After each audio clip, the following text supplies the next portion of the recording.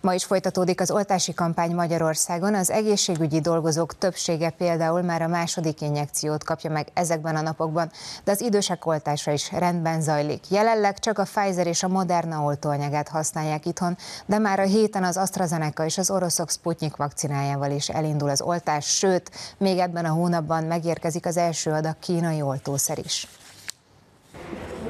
Jó, készen vagyunk. A második adag Pfizer vakcinát kapják az egészségügyi dolgozók a Borsodalbaúj Zemplén megyei központi kórházban. Ezzel várhatóan egy hét múlva ők már teljesen védettek lesznek a koronavírussal szemben. Semmilyen komolyabb szövődményét nem tapasztaltuk.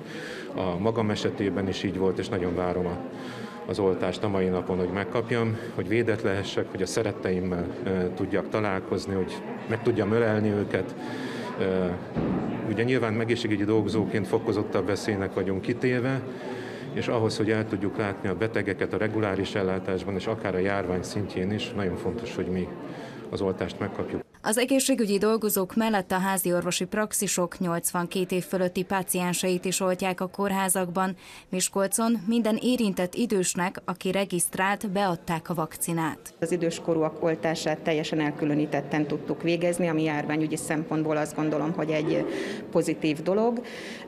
Az idősekkel nagyon aranyosak voltak, nagyon örültünk, hogy itt voltak nálunk, és azt gondolom, hogy jól és gördülékenyen zajlott az oltásuk. Az idősek a kórházakban a Pfizer vakcinát, a házi orvosoknál a Modernát kapják, hamarosan pedig egy újabbal az orosszal is indulhat az oltás itthon. A Nemzeti Népegészségügyi Központ megadta az engedélyt a Sputnik V-nek is.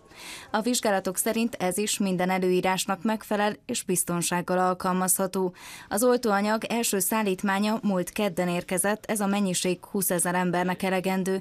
Oroszországból összesen annyi vakcina várható, amely egy millió embernek elég.